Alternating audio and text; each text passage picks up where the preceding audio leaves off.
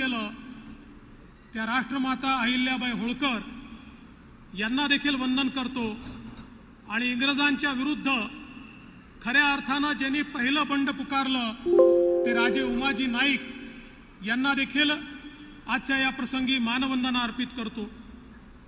मंचावर उपस्थित ज्यांच्या संकल्पनेतून शासन आपल्या दारी हा उपक्रम सुरू झाला ते महाराष्ट्राचे लोकप्रिय मुख्यमंत्री माननीय एकनाथराव शिंदेजी महाराष्ट्राचे धडाडीचे उपमुख्यमंत्री आणि ज्यांच्या इंजिनमुळे महायुतीच्या गाडीला तुफान वेग आलेला आहे असे सन्माननीय अजितदादा पवार उपसभापती नीलमताई गोरे पालकमंत्री चंद्रकांत दादा पाटील सहकार मंत्री दिलीपराव वळसे पाटील या ठिकाणी उपस्थित सन्मान्य राहुल कुल दत्ता मामा भरणे संजय भाऊ जगताप अशोकराव पवार त्याचप्रमाणे विजयबापू शिवतरे हर्षवर्धनजी पाटील शरदबाबराव सोनवणे श्री सौरव राव श्री राजेश देशमुख श्री सुनील फुलारी श्री अंकित गोयल श्री रमेश चव्हाण उपस्थित सर्व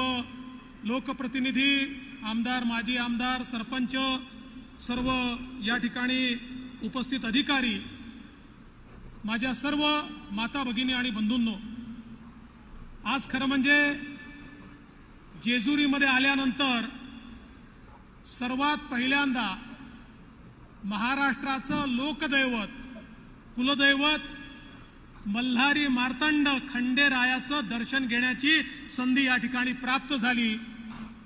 आणि खंडेरायाचा भंडारा हा आम्ही माथी लावला आणि तो भंडारा उधळला आणि उधळून या ठिकाणी खंडेरायाच्या चरणी एकच प्रार्थना केली.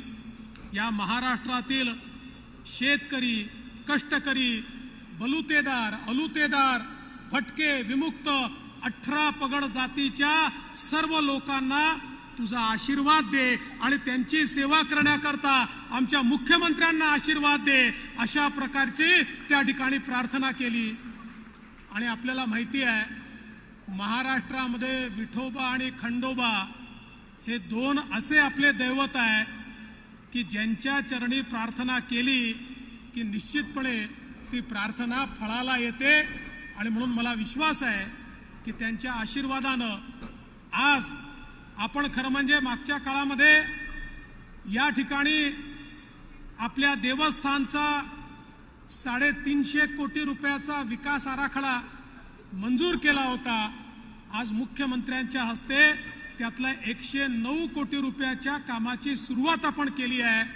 आणि आम्ही मुख्यमंत्री महोदय मी आणि अजितदादा आपल्याला आश्वस्त करू इच्छितो की आपलं हे जे देवस्थान आहे हे अतिशय सुंदर अशा प्रकारच्या सोयीने परिपूर्ण भक्तिभावानं येणाऱ्या भंडारा उधळण्याकरता येणाऱ्या प्रत्येकाला त्या ठिकाणी सर्व सोयी मिळाव्यात अशा प्रकारच्या व्यवस्था येत्या काळामध्ये तिथे आम्ही निश्चितपणे उभ्या करून दाखवू.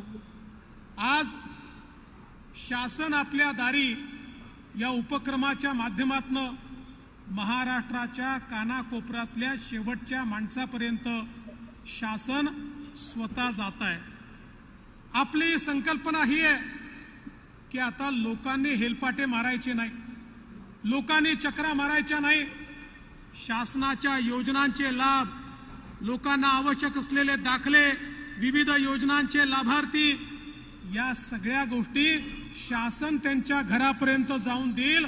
कोणालाही चक्रा माराव्या लागणार नाही आणि शासन आपल्या दारीच्या अंतर्गत लाखो लाखो लोकांपर्यंत सरकार पोचलंय. आणि त्यांना आवश्यक ते दाखले देखील दिले आहेत. आणि योजना आपण पाहू शकता वानगी दाखल या ठिकाणी काही लोकांना आपण स्टेजवर लाभ दिलेले आहेत. पण एकेका जिल्ह्यामध्ये पाचशे कोटी सातशे कोटी हजार हजार कोटी रुपयाचे लाभ हे डायरेक्ट थेट लोकांच्या घरापर्यंत पोचवण्याचं काम हे शासन आपल्या दारीच्या माध्यमातनं आपल्या महायुतीच्या सरकारने या ठिकाणी केलाय. आहे आणि आपल्या सरकारनं जे वेगवेगळी कामं केली त्या संदर्भात अजितदादांनी सांगितलं आज आपण